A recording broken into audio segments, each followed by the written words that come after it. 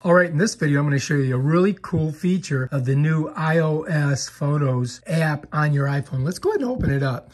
All right, so right here, it's going to show you all your different, uh, you know, your photos. And if you click it once, you're going to move forward like this. But look at this new thing they've got. It's called Trips. All right, so any place you've gone in the world, they have right here, they got the name of where it was when you went there and you know one of the photos from that like group of photos from those different places. But if you want to see them all you go like that. And what's cool is they got them uh, in years. So if i want to go back to 2017 and check out my paris photos bam there i am. And now i can slide up and look at all of them right? And then if i'm done with that i just click it up here at the top. And it brings me back here. I could do 2018 look at that. Italy. Italy Schmidtly.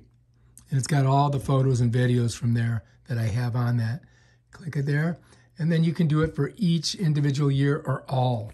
And that's a cool thing that they do now. All right, if you like this video, subscribe to my channel and check out my other awesome videos on the new iOS application of photos.